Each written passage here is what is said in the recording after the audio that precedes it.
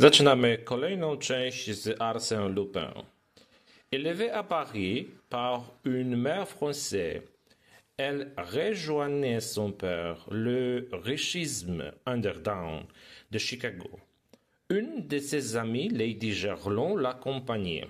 De la première heure, j'avais posé ma candidature de flir, mais dans l'intimité rapide du voyage, de suite son charme m'avait troublé, et je me sentais un peu trop ému pour enfuir quand ces grands yeux noirs rencontraient le mien.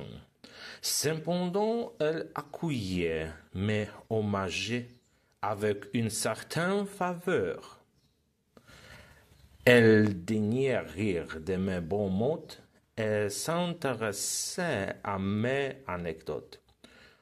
Une vague sympathie semblant répondre à l'impression que je lui témoignais. Un seul rival peut-être me inquiétait. Un assez beau garçon élégant, réservé, dont elle paraissait quelquefois préférer l'humour taciturne à mes façons plus en dehors des Parisiens.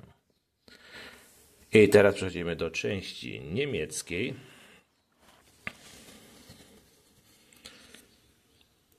Miss Nelly war bei ihrer französischen Mutter in Paris aufgewachsen und befand sich gerade auf dem Weg nach Chicago zu ihrem Vater, dem steinreichen Underdown. Eine ihrer Freundinnen, Lady Gerlon, begleitete sie.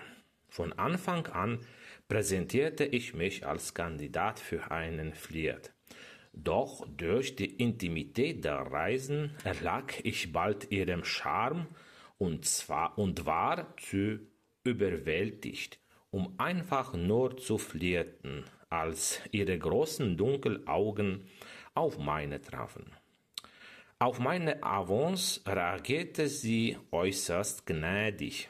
Sie lachte wohlwollend über meine Witze und zeigte sich interessiert an meinen Geschichten. Meine Begeisterung für sie traf auf eine Welle der Sympathie. Es gab nur einen Rival, der mich eventuell etwas beunruhigte. Ein relativ hübscher, eleganter und reservierter junger Mann, dessen einsilbigen Humor sie manchmal meinen für Pariser Verhältnisse und typischen Gepflogenheit vorzuziehen schien. Dzisiaj czytaliśmy troszeczkę szybciej i z czasem, gdy będziemy dalej zagłębiać się w przygody Arsène Lupin, będziemy starać się czytać już w sposób płynny.